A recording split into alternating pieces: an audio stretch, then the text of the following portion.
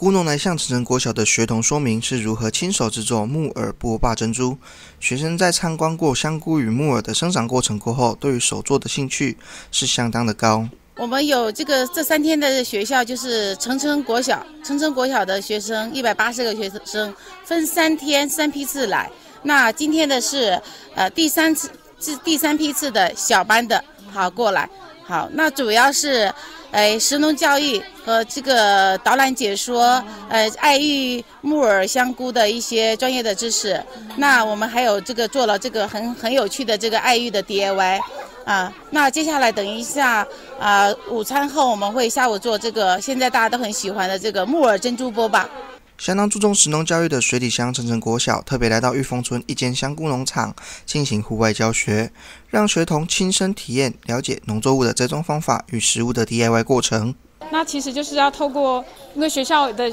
特色是在推实农教育，那所以希望参访就是水里乡在地的一些农场或者是一些产业的活动，希望孩子可以更贴近这里的食物的过程。对，所以可以认识乡里面的很多的农场，跟知道食物的来源。食农教育呢，我觉得这些小朋友呢，就是收获很大，要认识什么是爱玉，爱玉怎么生长的，好，它是呃什么样的品种，那啊只有台湾才有的这个爱玉。那只有台湾才有的这个爱玉小蜂，那又可以洗成这个爱玉冰来吃。县议员肖志全表示，孩童的食农教育非常重要，非常感谢校方以及农友的用心，也希望透过这样的方式来落实食农教育。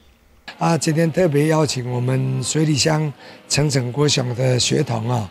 来到好姑妈这个他们的产业的据点啊，来这边做观赏、参观以及学习哈。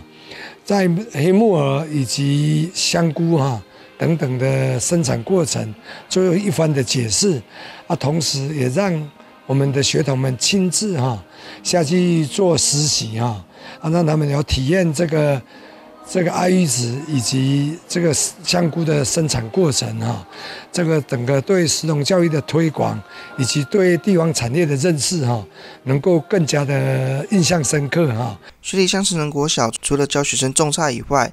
更认为食农教育是相当重要的一环，因此希望透过这样的方式，从小了解食物的生长过程。记者邱平义水里采访报道。